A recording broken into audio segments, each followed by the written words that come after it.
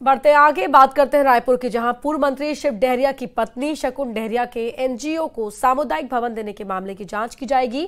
नगर निगम ने जाँच के लिए तीन सदस्यीय कमेटी बनाई है। सरकारी भवन सौंपने और सरकारी खर्च को लेकर जाँच होगी समिति को 10 दिन के अंदर ही अपनी जो अपनी जाँच रिपोर्ट देने के निर्देश दिए गए हैं।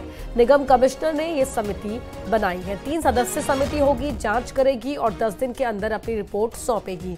पूर्व मंत्री शिव डहरिया की पत्नी शगुन शकुन डहरिया के एनजीओ को सामुदायिक भवन देने के मामले की जाँच की जाएगी। सरकारी भवन क्यों सौंपा गया? किसके कहने पर सौंपा गया?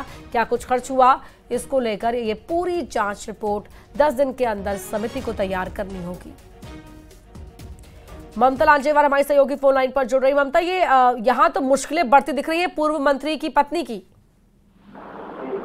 बिल्कुल, देखिए शिव ने कल कहा था कि एमआईसी से अप्रूवल मिला, उसके बाद वो भवन सौंपा गया।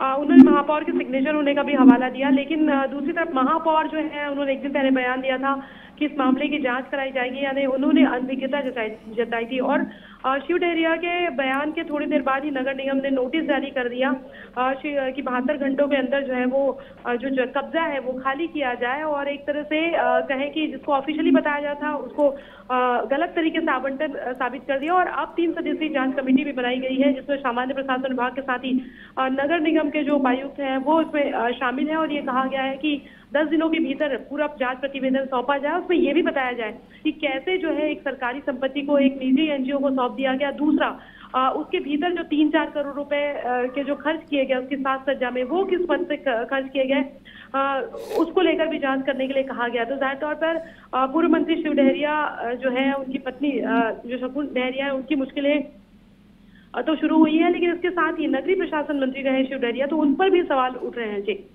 बहुत शुक्रिया आपका इस जानकारी के लिए ममता।